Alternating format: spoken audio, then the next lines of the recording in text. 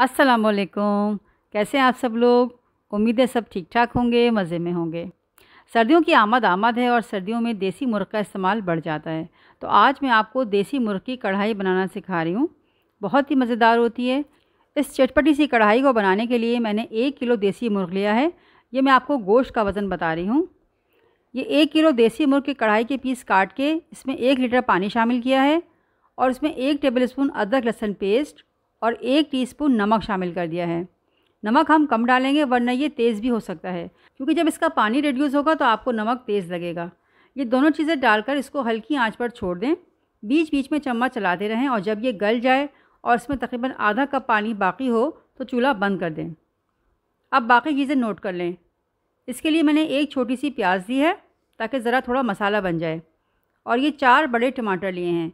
ये फ्रोज़न है तो इनका छिलका आराम से उतर जाएगा। इसके अलावा हमें आधा पाव यानी 125 ग्राम दही चाहिए। चार से पाँच बड़ी वाली हरी मिर्च, इनको इस तरह काट लें। बारीक कटा हुआ हरा धनिया और बारीक कटी हुई अदरक तकरीबन तीन टेबल स्पून के करीब इस्तेमाल होगी। इसके अलावा एक टेबल स्पून भरकर कुटी लाल मिर्च, आधा टी स्पून हल्दी पाउडर, नमक हसब ज़ायक़ा, मैंने आधा टी स्पून लिया है। नमक हमने उबालते वक्त भी डाला था, इसलिए अभी हम कम डाल रहे हैं।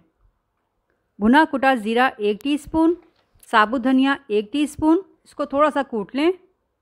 एक टीस्पून गरम मसाला पाउडर और आधा टीस्पून सूखी मेथी।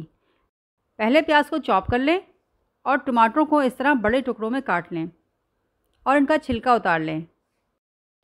अब एक पैन में थ्री फोर्थ कप ऑयल डालें और तेल गर्म होने पर इसमें चॉप प्याज डाल दें। इसको एक से दो मिनट तक चलाएँ।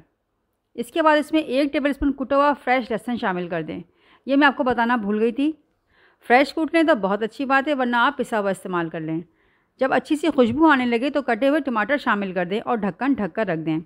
अगर आप फ्रेश टमाटर डाल रहे हो तो इनको सिर्फ़ दो हिस्सों में आधा आधा करके मसाले पर रख दें और कुछ देर के लिए ढक्कन ढक दें। कुछ ही देर बाद ये नरम हो जाएँगे और इनका छिलका आराम से उतर जाएगा। अब पाँच मिनट तक इन टमाटरों को हल्की आँच पर पकने दें। फिर इनको चम्मच से इस तरह घोंट लें। इनको छोटे छोटे पीस में कर लें। अब इस पर देसी मुर्ग जो हमने गला कर रखा था वो डाल दें, लेकिन अभी हम इसमें यखनी नहीं डालेंगे, सिर्फ़ बोटियाँ डालेंगे। यखनी हम आखिर में डालेंगे। अब इस पर साबुत धनिया, भुना कुटा ज़ीरा, नमक, हल्दी और कुटी लाल मिर्च शामिल कर दें। अभी हम कसूरी मेथी और गरम मसाला पाउडर नहीं डालेंगे। इसको आखिर में डालेंगे ताकि अच्छी सी खुशबू आए। अब इनको अच्छी तरह मिक्स करें, फिर इसमें दही भी फेंट कर शामिल कर दें। अब इसको अच्छी तरह पाँच मिनट तक भुनें, फिर इसमें गरम मसाला शामिल कर दें। और कसूरी मेथी को इस तरह हाथ से रगड़ कर डाल दें। इससे कसूरी मेथी की बहुत अच्छी खुशबू आती है।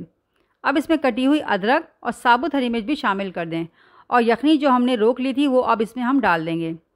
यखनी में सारी मुर्ग की ताकत थी, इसलिए इसे ज़ाया नहीं करेंगे। इसे अच्छी तरह मिक्स करें और यखनी को अब हम सुखाएँगे नहीं। इसे ऐसे ही एक से दो मिनट के लिए दम पर रख दें। आखिर में इस पर हरा धनिया और अदरक डालकर इसकी गार्निशिंग करें। मज़ेदार सी देसी मुर्ग की कढ़ाई तैयार है। अगर आपको रेसिपी अच्छी लगी हो तो इसे लाइक और शेयर करें और मेरे चैनल को सब्सक्राइब करें। जजाकल्ला।